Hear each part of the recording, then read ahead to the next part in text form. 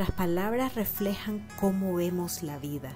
Las palabras dulces son como la miel y traen nuevas fuerzas.